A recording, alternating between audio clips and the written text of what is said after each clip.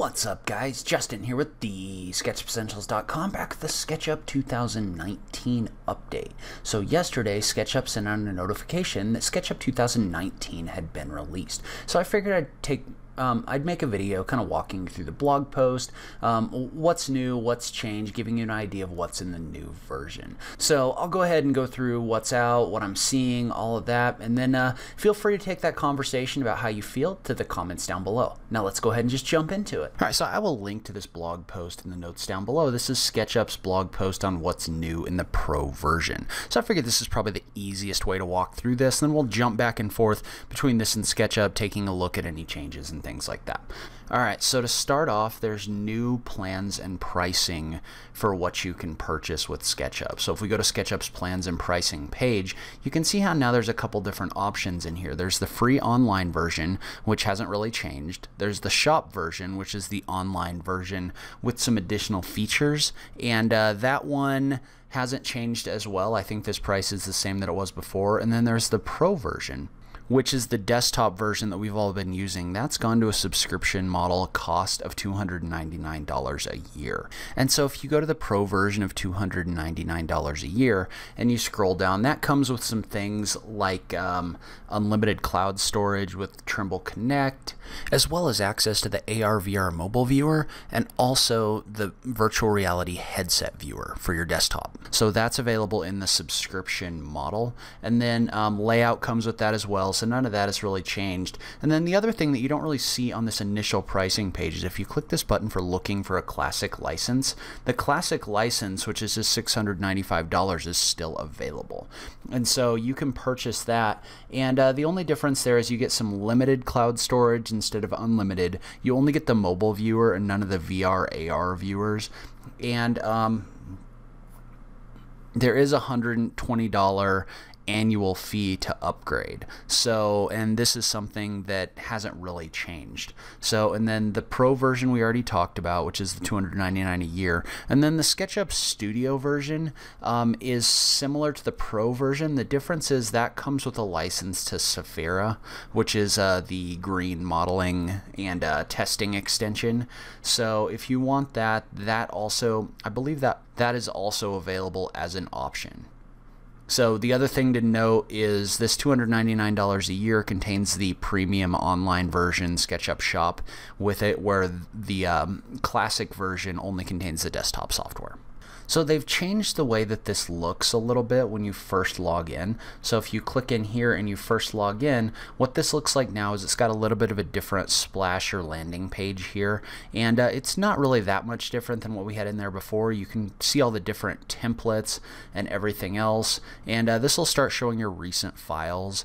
Um, as you open it up. It also has a link to the Learn page, which has links to SketchUp's forum, um, their new teaching site SketchUp Campus and then their YouTube channel SketchUp Videos. So if we go ahead and we click on one of these, you're going to notice as we bring this up, so as we bring this up, there's a new default model in here. So and in the new version, the big new feature this year is the dashed lines function. So if you remember, if you've ever watched any of our uh, layout or any of my layout tutorials, you've had to do a whole lot with different layers um, in order to get different line weights and things like that. Well, what they've done in the new version is they've actually assign different layer or assign different line types in the layers menu. So like for example, let's say we wanted dotted lines those are now applied using the layers function. So if I was to take this object, for example, and put it on the dotted lines layer, then come in here and click on the dashes function, you can see how this is going to adjust the edges and lines in here so that they're going to be dotted. So anything on this, so anything on that layer is going to be dotted. Anything on this layer, let's say this was like dashed lines, We'll put this on the dashed lines layer and you can take this and you could add dashes to the lines here. So you can use this to adjust the way that those things are going to look. I don't know, I don't think you can adjust the line weights on these, at least in here. I have a feeling you probably do that inside the styles. So if you go in here and you adjust your profiles to something like 5, um, you can see how these are changing so that they're thicker. So you can adjust your line weights by adjusting your styles.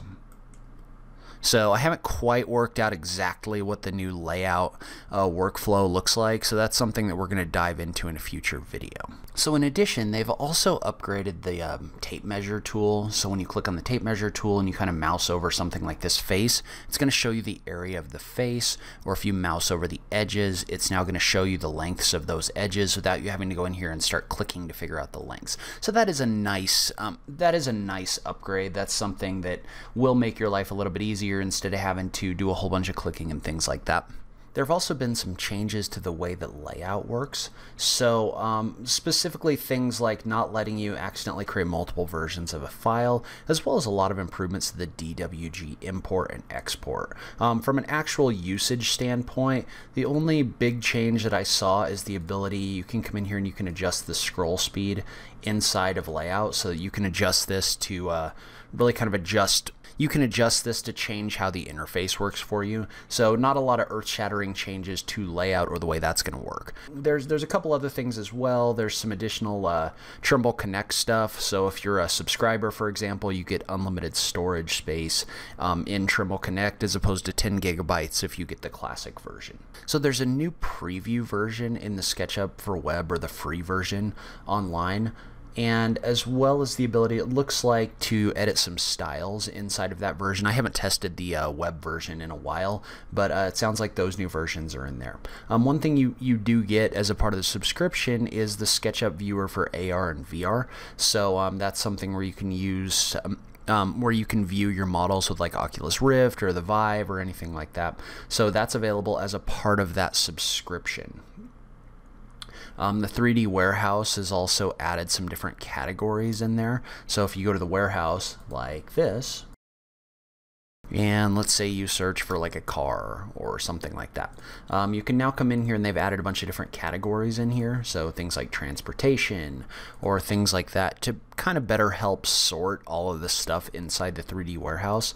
So being able to search for different things inside of those um, those categories could be really helpful for finding things inside the 3D warehouse. Um, like I mentioned earlier, if you have the uh, if you have the SketchUp Studio license, then you also get access to Sefaira, which is their energy modeling extension. So if that's something you do, you can see how this allows you to do different energy modeling and stuff like that. So as always, I would encourage you to keep your SketchUp 2018 still installed on your computer. I'll probably do a video about migrating your extensions over, but some of those have not been updated to work with SketchUp 2019. So at least for right now, I'd recommend keeping your 2018 available to work with if you're using a bunch of extensions. So leave a comment below. Let me know what you thought. Um, how do you feel about these new features? I just love having that SketchUp conversation with you guys. If you like this video, please remember to click that like button down below. If you're new around here, remember to click that subscribe button for new SketchUp content every week.